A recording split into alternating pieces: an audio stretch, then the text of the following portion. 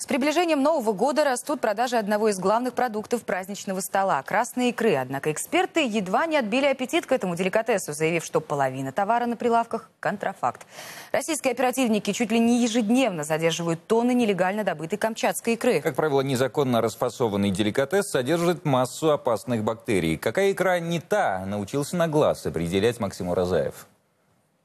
Эта партия камчатской икры спешила попасть на новогодний бутерброд, но оперативники оказались быстрее мошенников. В фуре 240 пластиковых ведер, более 6 тонн деликатеса и ни одного документа на продукт. Хозяин красного золота так и не объявился. За рулем всего лишь водитель, перевозчик опасной икры. Полицейские таким объемом контрафакта уже не удивляются. Почти 17 тонн изъято только за время путины. С ее окончанием браконьеры лишь активизируются. Заготовленную в полевых условиях икру уже браконьеры, э, злоумышленники вывозят по зимнику, когда становится лед на реках, когда э, можно вывозить ее из труднодоступных районов Камчатки.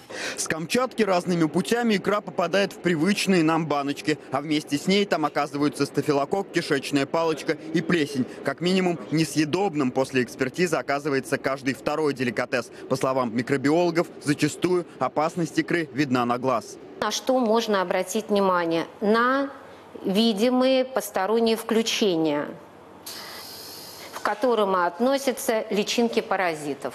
Некачественную икру и без микроскопа видно. Насторожить покупателя должна в первую очередь цена. Стандартная баночка икры не должна стоить меньше 200 рублей. Если баночка стоит дешевле, икра в ней, скорее всего, не первой свежести. Вероятно, продавалась еще к прошлому Новому году, а дата изготовления была перебита. О происхождении икры мало что могут сказать документы. С ними, как правило, все в порядке. На деле, на тех же рынках Камчатки, в 9 баночках из 10 контрафакт, добытый браконьерами. Об этом говорят сами продавцы деликатеса. Естественно, не на камеру. Мошенники, перевозчики икры в центральную часть России, похоже, и вовсе не знают, откуда берется икра. Икра черная. Черная икра. Какая черная? Крашеная, палтус, щука. Ну, я Осетровая икра.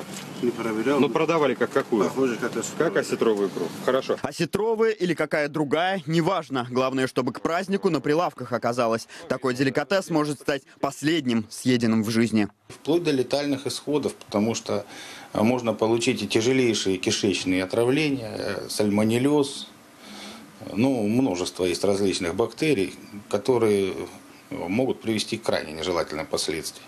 Наиболее опасной для здоровья защитники прав потребителей называют икру, расфасованную не на Камчатке, чаще всего в Московской и Ленинградской областях. Получается так, что э, вот эту э, продукцию с Камчатки, эту икру привезли в какой-то таре, там, допустим, в бочках определенного литража, а дальше она попадает в цех по расфасовке. Как она обрабатывается? Да, по сути, туда тупо, извиняюсь, добавляют соли, для того, чтобы законсервировать еще ее сильнее, дабы убить бактерии, которые там, естественно, автоматически попадают при транспортировке и при перефасовке. Чтобы вместе с икрой на стол не попали опасные бактерии, специалисты советуют перед покупкой убедиться, что регион добычи и фасовки совпадает. На упаковке нет видимых повреждений. Ну и, конечно, помнить правило. Не все то золото, что блестит. С красным золотом то же самое. Максим Уразаев, Татьяна Гагаринова, Расул Муратов, Пятый канал.